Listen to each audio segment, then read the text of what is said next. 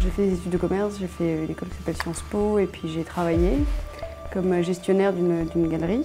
Parallèlement à tout ça, je faisais des activités, euh, je faisais de la menuiserie, je faisais beaucoup de choses, beaucoup d'activités euh, proches euh, un petit peu du milieu artistique.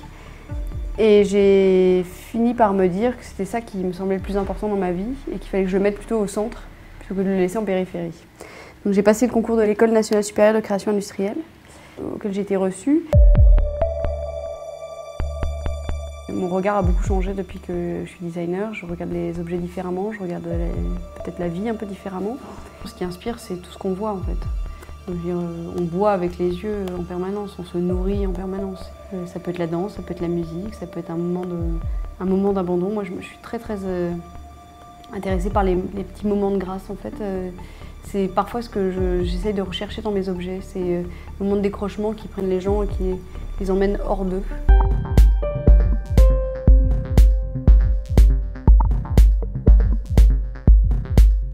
Le projet que j'ai présenté à Audi, c'était comme une espèce de, photographie de mon travail actuellement, de mon travail de recherche, qui s'oriente autour de euh, matériaux hyper légers comme le, comme le papier, de euh, recherche autour de, de l'aimantation qui permet de défier la gravité. Donc euh, je suis obsédée par l'idée de la légèreté et par l'idée de défier vraiment la gravité, donc que ce soit une gravité apparente ou une gravité réelle. et puis aussi j'ai présenté un travail sur le déploiement, donc c'est tout un des meubles qui s'appellent Pop Around, où ça, on vient déployer des, des éventails, un peu comme des diables en boîte. Voilà. J'adore le jouet du diable en boîte, c'est quelque chose qui me qui m'amuse à tous les coups et enfin, je suis vraiment, je peux rire aux éclats à chaque fois que je sors un diable en boîte euh, sans me lasser. Évidemment, j'étais ravie de gagner, j'étais surprise parce que je, on sait jamais, on sait jamais à quoi s'attendre, etc on sent que la conversation est intéressante. C'est ça qui m'a le plus marqué en fait euh, pendant le prix. C'était vraiment l'échange. Et cette perspective aussi m'a vraiment euh, euh, enfin, réchauffée au sens où ce que je leur disais, c'est que ça faisait quelques mois que j'étais seule, que j'étais du coup responsable des personnes, des stagiaires qui travaillaient pour moi, etc. Que je me sentais, je trouvais qu'il y avait une forme de solitude en fait dans le travail de, créateur et que euh, je sentais que c'était un moment où j'avais vraiment besoin qu'on me donne un coup de pouce.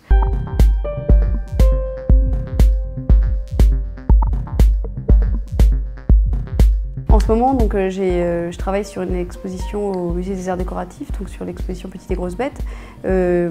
D'abord, j'ai adoré travailler pour les œuvres de quelqu'un d'autre, parce que je trouve que c'est aussi un travail d'humilité important. Il faut savoir se tenir un petit peu en retrait.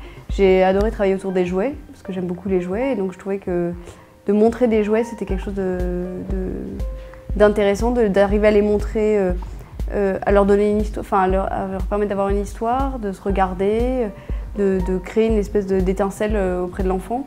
Ça m'intéressait beaucoup. Et parallèlement à ça, donc je faisais les vitrines des Galeries Lafayette pour les Designers Days. Donc les Galeries Lafayette, tout, est, tout est, blanc puisque tout est en papier.